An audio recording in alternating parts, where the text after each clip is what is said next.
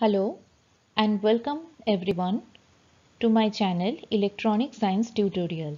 I will start a series of lecture on VLSI technology in my channel. Those who are not check out my channel, please do like, share and subscribe my channel. So let's start our discussion.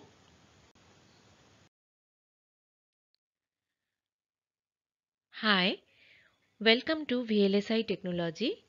In previous class, we talk about the crystal growth technique like Bridgman technique and CZ technique. We also discuss about the main drawback of Bridgman technique and why we generally use CZ technique. We already talk about this topic. In the last portion of the CZ technique, we saw that the pull rate must be very carefully handled so that I get a single crystal. Right?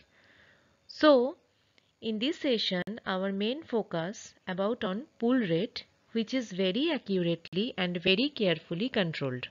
Right? If we pull up the pull rod very fast, you may not get a single crystal and if you pull up very slowly, you may even get the seed crystal melted. Okay. So the pull rate is very important. So in this session we talk about the pull rate. So let's start our session. So what is pull rate?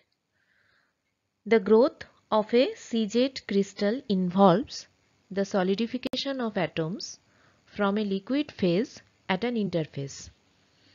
The speed of growth is determined by the number of sites on the face of the crystal and the specifies of heat transfer at the interface.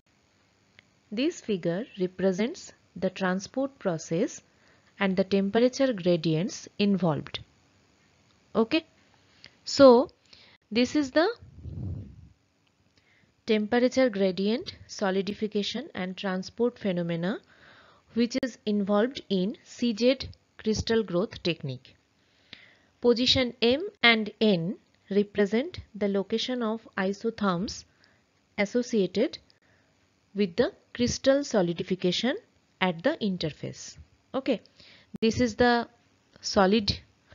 Um, this is the, the this portion is solid crystal portion and this portion is liquid crystal portion. Okay, impurity atoms are transport across the boundary layer. This is the boundary layer BL. This is the boundary layer and incorporated into the growing crystal interface in the melting point. So this is the temperature gradient solidification and transport phenomena which is involved in CZ crystal growth technique. Right? So, the heat transfer condition about the interface can be modeled by this following equation. What is the equation? That is L dm by dt plus KL dt by dx1 a1 equal to ks dt by dx2 a2 okay so this is the heat transfer condition in the interface where L is the latent heat dm by dt is the mass solidification rate T is the temperature KL and Ks are the thermal conductivity of liquid and solid. dt by dx1 and dt by dx2 are the thermal gradients at point M and N. This is the M and N point, right? That means thermal gradients at M and N point means at the interface in the liquid and solid. Okay respectively. And A1 and A2 are the areas of the isotherms at positions M and N. Okay. So this is the pull rate equation in this equation or by using this equation we can easily identify the pull rate right?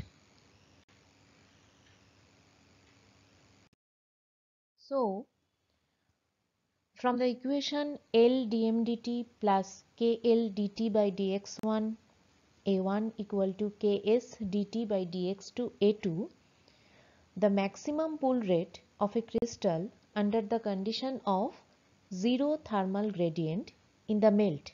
That means dt by dx1 equal to 0 which can be convert by mass solidification rate to a growth rate using density and area where Vmax is the maximum pull rate or pull speed and D is the density of solid silicon. Okay, so in this way we can easily get the maximum pull rate of the pull rod that is Vmax equal to Ks divided by LD dt by dx.